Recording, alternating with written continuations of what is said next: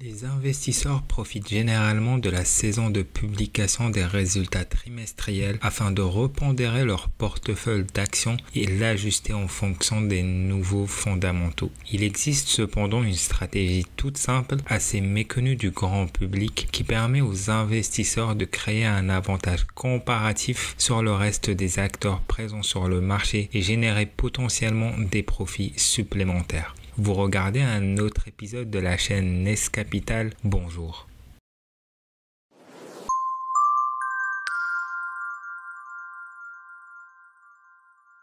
Monitorer les activités de trading des personnes ayant accès à des informations privilégiées, plus souvent appelées des insiders, est un très bon moyen de mesurer le niveau d'optimisme des dirigeants quant à la performance future et l'avenir d'une compagnie. Le site TipRanks montre par exemple qu'un investisseur ayant simplement imité des ordres d'achat et de vente initiés par des dirigeants de ces compagnies aurait généré en moyenne 20 5% de rendement annuel en excluant les frais de transaction, soit un rendement de 5% en excès comparativement au rendement du S&P 500 sur la même période. Ces résultats sous-entendent un horizon d'investissement de un mois. Je cependant d'être un peu plus conservateur et de considérer un horizon d'investissement un peu plus long, soit 2-3 mois, de sorte à laisser à l'action pleinement le temps de refléter son plein potentiel. Supposons qu'un investisseur souhaite rentrer dans une position d'achat d'une des entreprises du TSX canadien. Sous cette stratégie, cet investisseur attendrait patiemment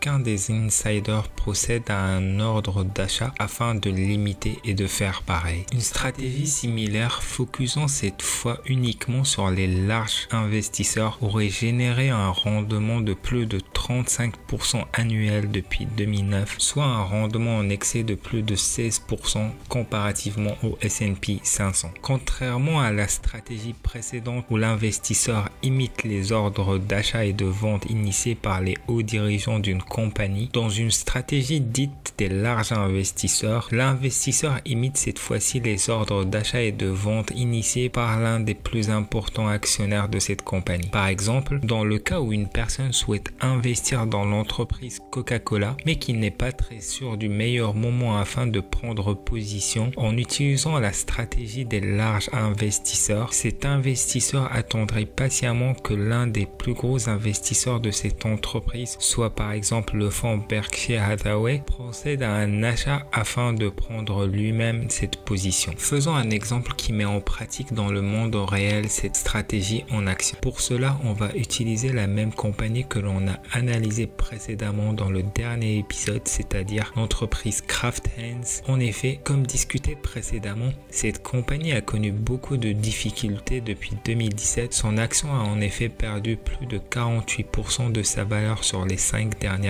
années. Cette compagnie me semble parfait candidat pour mettre en épreuve notre stratégie. En effet, si notre stratégie est capable de fournir un rendement positif alors que la tendance des prix de l'action est assez négative, c'est qu'elle est très Premièrement, on doit d'abord avoir accès à un site web qui nous permet d'afficher l'ensemble des transactions initiées par des insiders et les grands investisseurs institutionnels. Plusieurs sites web de finance permettent de monitorer cela. Dans notre exemple, on va utiliser le site web MarketWatch. Après avoir sélectionné le nom de l'entreprise, on va cliquer sur le bouton Insider Trades afin d'avoir accès à cette information. À l'écran maintenant, l'ensemble des transactions telles que désirées effectuées soit par l'exécutif de Kraft Heinz, soit par l'un des plus grands investisseurs institutionnels de cette compagnie. La première stratégie qui va être testée est celle qui consiste à imiter les transactions exécutées par l'un des dirigeants. Comme discuté précédemment, on adoptera un horizon d'investissement de deux mois afin de laisser pleinement le temps à l'action de refléter la réelle raison du insider trade. Les transactions en jaune sont ceux qui nous intéressent actuellement. En effet, c'est ces transactions qui ont été initiées par l'un des membres de l'exécutif de Kraft Heinz. À chaque fois qu'un insider entre dans une position d'achat, on va limiter et procéder à la revente deux mois après.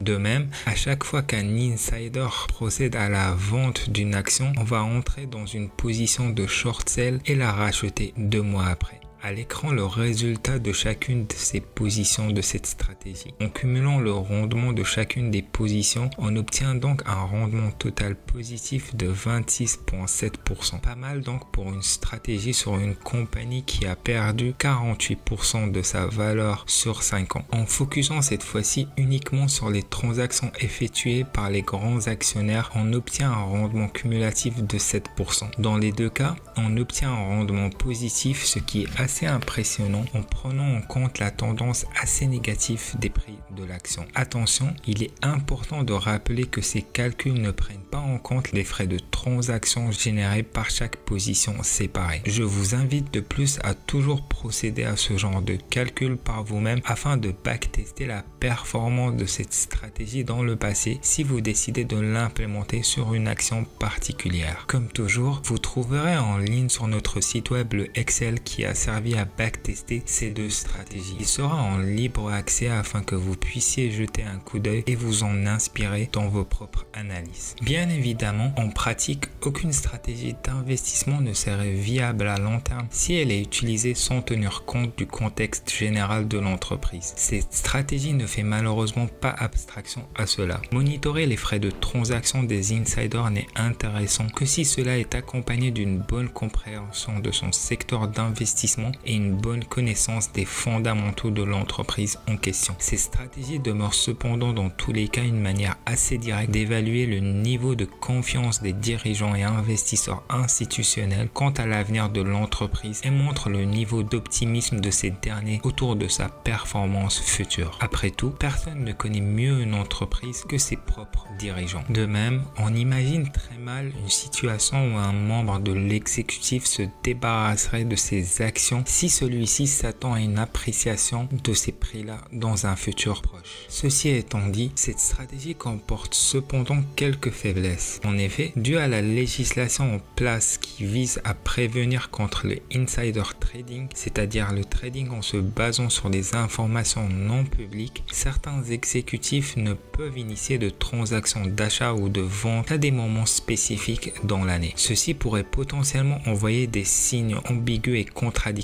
De même, le fait que certaines compagnies rémunèrent leurs dirigeants en stock options pourrait aboutir à des situations où des actions sont mises en vente sans réel lien direct avec le ressentiment général de l'exécutif quant à la performance future de l'entreprise. Néanmoins, en se basant sur le backtest historique réalisé par le site une stratégie qui consiste à imiter les insiders est un excellent moyen de minimiser son risque et générer un profit. Cette stratégie donne l'occasion à chaque investisseur de bénéficier d'une manière indirecte de l'expertise très précieuse d'acteurs importants qui détiennent de précieuses informations et connaissances autour de l'entreprise en question. Cette stratégie peut être utilisée afin de timer le moment de rentrer dans une position. Elle peut également servir à complémenter l'analyse d'un secteur en ciblant au final uniquement les entreprises ayant connu récemment des insider trades.